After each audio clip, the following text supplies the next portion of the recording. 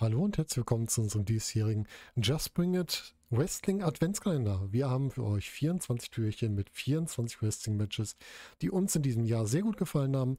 Dabei sind die Matches so bis Ende Oktober mit dabei.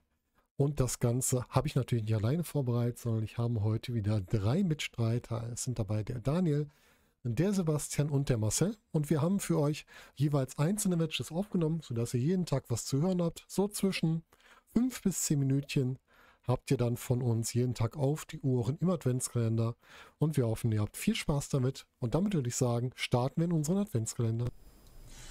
Hallo zusammen, mein Name ist Captain Mighty Pants oder auch Sebastian, wie ihr mich vom Just Bring It Podcast sonst kennt.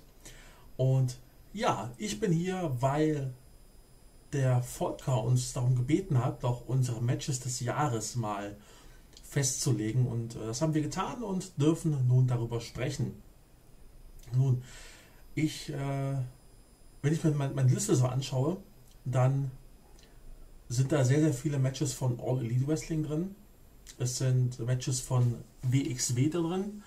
Und es ist äh, tatsächlich auch ein Match dabei von Ring of Honor. Ähm, das will ich aber jetzt nicht spoilern, welches das ist. Das kommt dann erst später dran im äh, Adventskalender. Ja, ich starte mit einem Match, das äh, vielleicht nicht mehr viele auf dem Schirm haben, aber vielleicht, also nein, was heißt vielleicht? Für, mich war es auf jeden Fall eines der besten Frauenmatches in diesem Jahr. Äh, passiert bei AEW Revolution 2021. Ähm, ist auch tatsächlich, wenn ich mir das mal so angucke auf der Card, äh, das bestbewerteste Match bei Cage Match. Es geht nämlich um das AEW Women's World Title Match zwischen der damaligen Championess Hikaru Shida und der Herausforderin, die ich zu dem Zeitpunkt überhaupt nicht kannte, Ryo Mitsunami. Und das Match ging ungefähr 15 Minuten.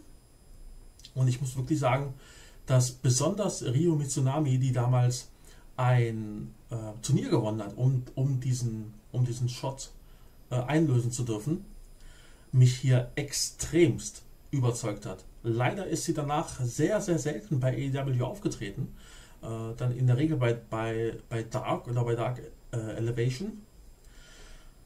Ja, das ist wirklich sehr, sehr schade, weil sie hier gezeigt hat, was sie drauf hat, was sie kann, was sie auch im Zusammenspiel mit, mit Shida kann, die äh, damals einen sehr, sehr guten Run hatte, wie ich fand der leider ziemlich, äh, ja, ähm, in Vergessenheit geraten ist, habe ich so ein bisschen das Gefühl, jetzt, jetzt mit Britt Baker, die das natürlich auch sehr, sehr gut macht, das um Gottes Willen.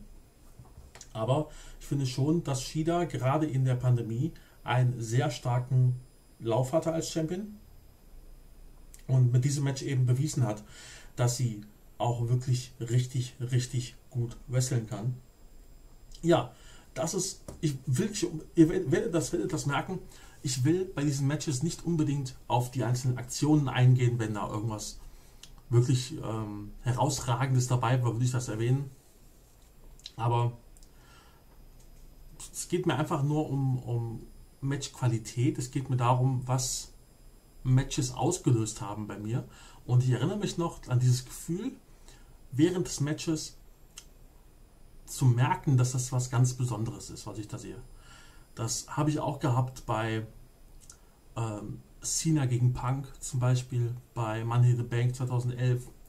Das habe ich äh, gehabt jetzt bei, bei Kenny Omega gegen äh, Hangman Page. Das gibt es immer mal wieder, dass, dass einfach Matches so, so klicken. Und das war in dem Fall tatsächlich, ja, äh, auch so.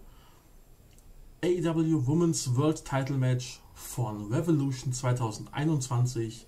Hikaru Shida gegen Ryo Mitsunami.